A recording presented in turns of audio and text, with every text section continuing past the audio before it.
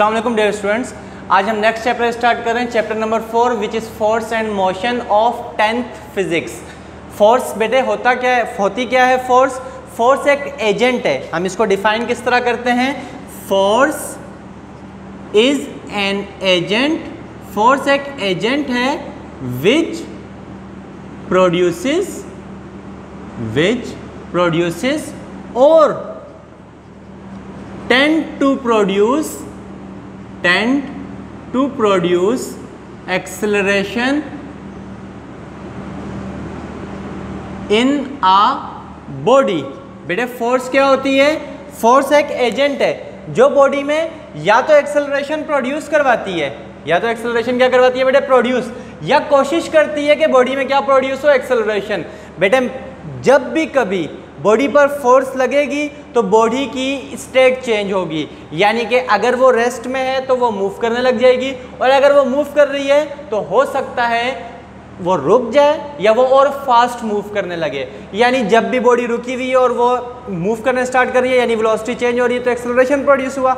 जब body move कर रही है और उसको हम रोकें तो उसका, उसकी वेलोसिटी कम होना शुरू हो जाएगी, यानी एक्सेलरेशन प्रोड्यूस होगा। क्योंकि एक्सेलरेशन को हमने डिफाइन किया है लास्ट चैप्टर में, जब भी वेलोसिटी चेंज होगी टाइम के हिसाब से एक्सेलरेशन प्रोड्यूस होगा।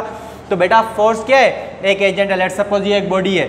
मैं इस पर फोर्स लगाता हूँ बॉडी मूव करने लग गई।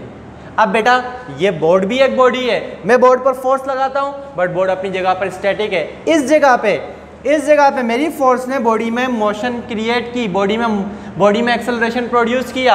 इस जगह पे मैं कोशिश कर रहा हूँ फोर्स कोशिश कर रही है एक्सेलरेशन प्रोड्यूस होने की बट एक्सेलरेशन प्रोड्यूस नहीं हो रहा। तो हम फोर्स को कैसे डिफाइन करते हैं? ये एक एजेंट है, जो या तो प्रोड्यूस करती है एक्सेलरेशन या कोशिश करती है प्रोड्यूस करने की एक्सेलरेशन किसमें? बॉडी के अंदर। क्लियर हो गया बेटे? जी बेटे, अब इसका फार्मूला पढ़ लेते हैं कि फोर्स का फार्मूला कहाँ से आया? बेटे फोर्स का फार्मूला होता है, न्यूटन सेकंड लॉ के मुताबिक जो हम बाद में पढ़ेंगे। न्यूटन सेकंड लॉ के मुताबिक बेटा फोर्स बराबर होती है एम ए के मास टाइम्स एक्सेलरेशन के। बेटे, अगर मैं इसका यूनिट निकालना चाहूँ तो इसका एस आई यूनिट होता है it's S I unit is newton. बेटे फोर्स का एस ऐसा यूनिट क्या है? न्यूटन के बराबर है। बेटे, न्यूटन बराबर किसके होता है? मास का एस ऐसा यूनिट क्या है बेटे? किलोग्राम। मल्टीप्लाई एक्सेलरेशन का ऐसा यूनिट क्या है? मीटर पर सेकेंड स्क्वायर बेटा न्यूटन को हम डिफाइन कैसे करते हैं? न्यूटन की वैल्यू वन न्यूटन कब होगी? ये वन न्यूटन होगी जब एक किलोग्राम की बॉडी के अंदर एक मीटर पर सेकेंड स्क्वायर का एक्सेलरेशन प्रोड्यूस किया जाए। तो बेटा one newton force is that force which produces an acceleration of one metre per second square in one kilogram body एक किलोग्राम की बॉडी पर अगर मैं फोर्स लगाता हूँ और एक एक मीटर पर सेकंड स्क्वायर का एक्सेलरेशन प्रोड्यूस होता है, इसका मतलब फोर्स कितनी लगी थी? एक न्यूटन की लगी थी। क्लियर हो गया बेटे फोर्स अब फोर्स से रिलेटेड न्यूटन ने डिफरेंट लॉस पेश किए थे। तो बेटे फोर्स जब भी बॉडी पर फोर्स लगेगी मोशन क्रिएट होगी, या कोशिश करेगी बॉडी के उसके अंदर मोशन क्रिएट हो तो बेटा मोशन से रिलेटेड न्यूटन के दो लॉज हैं। सबसे पहले पढ़ते हैं Newton's first law of motion. Newton's first law of motion. Newton's first law of motion है क्या चीज़? बेटा every body continue every body continue its existing state its existing state until and unless, until and unless it is it is acted upon, it is acted upon by an external force, by an external force clear हो गया बेटे? Every body continue its existing state बेटा existing state body की क्या हो सकती है? Either of rest और ऑफ़ यूनिफॉर्म मोशन बेटे एग्जिस्टिंग स्टेट का मतलब क्या है? एग्जिस्टिंग स्टेट बॉडी की क्या हो सकती है? It may be either rest या तो बॉडी रुकी हुई है, और यूनिफॉर्म यूनिफॉर्म मोशन क्लियर हो गया बेटे? बॉडी हमेशा अपनी एग्जिस्टिंग स्टेट को जारी रखेगी। अनटिल एंड अनलेस ता वक्त ये कि it is acted upon by some external force जब तक के उस पर एक्सटर्नल फोर्स ना लगे, तब तक के बॉडी अपनी एग्जिस्टिंग स्टेट को चेंज नहीं करेगी। फॉर एग्ज़ाम्पल ये डस्टर यहाँ पर पड़ा हुआ है। ये डस्टर हमेशा यहाँ पड़ा रहेगा। कब तक के? जब तक के मैं इसे यहाँ से उठा ना लूँ। या तो मैं इस पर इस तरीके से फोर्स ना लगा दूँ। तब तक के बेटा ये डस्टर क्या रहेगा? इस जगह पर अब मैंने फोर्स लगाई, डस्टर किसी और जगह चला गया। या बेटा, कोई चीज़ है, इस तरीके से यूनिफॉर्म वेलोसिटी से गिर रही है। तो वो हमेशा क्या रहेगी बेटा? गिरती रहेगी। जब तक कि मैं एक्सटर्नल फोर्स लगाकर उसको रोक ना दूँ। यानी यूनिफॉर्म मोशन में, वो हमेशा यूनिफॉर्म मोशन में रहेगी। कोई चीज़ रुकी हुई हमेशा रुकी रहेगी। कब तक के, जब तक कि उस पर कोई एक्सटर्नल फोर्स ना लगे। This is Newton's first law of motion बेटे, अब इसी से रिलेटेड एक नई डेफिनेशन है, उसको भी पढ़ते हैं। वो क्या चीज़ है बेटे?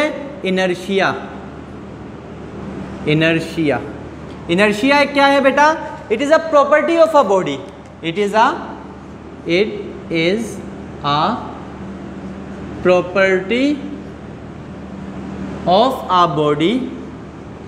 ये बॉडी की वो सलाहियत है, ये बॉडी की वो खासियत है due to which due to which it opposes opposes any change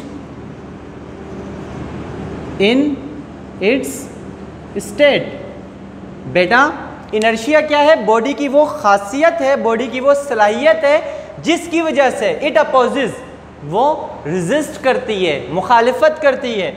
Any change in its state यानी बॉडी अगर रेस्ट में है तो बॉडी चाहेगी वो हमेशा रेस्ट में रहे। अगर बॉडी मोशन में है तो वो चाहेगी हमेशा वो यूनिफॉर्म मोशन में रहे। इसकी एग्जांपल क्या है? इसकी एग्जांपल है इनर्शिया की। आप एक कार में बैठे हुए बेटा कार में एकदम से ब्रेक लगती है। तो आपकी बॉडी क्या होती है? आपकी बॉडी का अपर पार्ट आगे की तरफ़ मूव करता है। बॉडी का लोअर पार्ट सीट के साथ अटैच है अपर पार्ट फ्री है। अपर पार्ट पहले यूनिफॉर्म मोशन के साथ जा रहा था। अब जैसे ही ब्रेक लगी अपर पार्ट क्या चाहेगा? वो यूनिफॉर्म मोशन को कंटिन्यू रखे। तो आपका अपर पार्ट बॉडी का क्या होगा? आगे की तरफ़ टिल्ट होगा, आगे की तरफ़ झुकेगा। सिमिलरली आप दोबारा से गाड़ी में बैठे हुए हैं और गाड़ी रेस्ट में ड्राइवर आता है, गाड़ी पर बैठता है, एकदम से एक्सेलरेटर प्रेस करता है, गाड़ी एकदम से आगे जाएगी, आप पीछे की तरफ़ जाएँगे। यानी अब बॉडी चाह रही है बॉडी रेस्ट में थी बॉडी अपनी एग्जिस्टिंग स्टेट को जारी रखे बॉडी उसी जगह पर मौजूद रहे तो आपका बॉडी का अपर पार्ट क्या होगा? पीछे की तरफ़ जाएगा। This is this is due to inertia बेटा, एक चीज़ और Newton first law of motion और इनर्शिया मिलते जुलते हैं। बेटा, इनर्शिया आपसे क्या कह रहा है? इनर्शिया कह रहा है कि बॉडी अपोज करेगी किसी भी स्टेट में चेंज को। फ़र्स्ट लॉ ऑफ़ मोशन क्या कह रहा है बेटा? Continue its state of rest और मोशन। बॉडी अपनी रेस्ट या मोशन की स्टेट को हमेशा जारी रखेगी। कब तक के? जब तक के उस पर एक्सटर्नल फोर्स ना लगे। बेटा, इसीलिए हम एक बात और करते हैं कि Newton first law of motion is also called law of inertia. Newton's first law of motion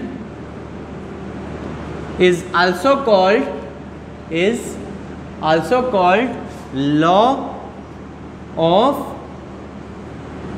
inertia. Clear हो गया बेटे? इसे हम लॉ ऑफ़ इनर्शिया भी कहते हैं। बेटे क्लियर हो गया अभी? Newton first law of motion क्या है? कि अगर कोई बॉडी आपके पास रेस्ट में है तो वो हमेशा रेस्ट में रहेगी। कब तक? जब तक उस पर एक्सटर्नल फोर्स ना लगे। अगर कोई बॉडी यूनिफॉर्म मोशन से मूव कर रही है, वो हमेशा यूनिफॉर्म मोशन से मूव करती रहेगी जब तक कि उस पर कोई एक्सटर्नल फोर्स ना लगे। इनर्शिया क्या कहता है बेटा? कि ये बॉडी की प्रॉपर्टी है, जिसकी वजह से बॉडी अपोज करेगी किसी भी स्टेट चेंज को। बॉडी चाहेगी जो उसकी एग्जिस्टिंग स्टेट है, वो उसको क्या रखे? जारी रखे। बेटा, यहाँ तक के इस डेफिनेशंस को रखें। नेक्स्ट लेक्चर में इंशाल्लाह सेकेंड लॉ ऑफ़ मोशन पढ़ेंगे। तब तक अपना ख्याल रखिए। अल्लाह हाफिज़।